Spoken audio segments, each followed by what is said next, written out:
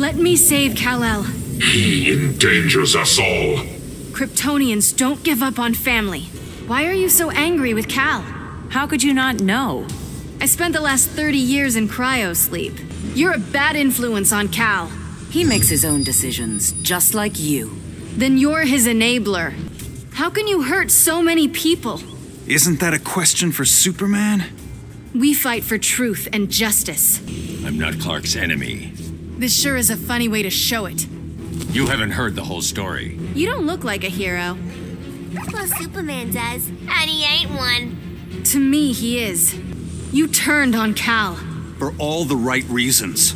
I don't stab my friends in the back. I'll say it. This is awkward. Kal doesn't belong in prison. That won't fly. That S used to give people hope. Once I'm done, it will again. Prove it to me. Kal, you need to stop. I'm the hero Earth needs. That's not how it looks to me. The King of Atlantis. At your service.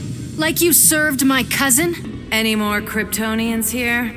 Two are all we need. Wrong. It's too, too many. Should I call Diana? Let's keep this in the family. I won't go any easier on you. What's your deal anyway? My deal is I want to talk to Kal-El. He's got better things to do. Long story short, I died. Who killed you? Your cousin did, Kara. The Kal I knew was nothing like you. Who are you to judge me? Someone who sees through you. Listen to me, Kara. I'm done with your half-truths. Then I'm done wasting my breath.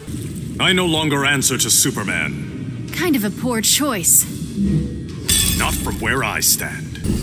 Let me save Kal-El. The time of heroes has passed. I'll fight to save this world. You are just like Superman, With some big differences. but still equally dangerous. Easy to be cynical, isn't it? Because I know we did the right thing. Kal didn't set the best example. Kara, you belong with Kal.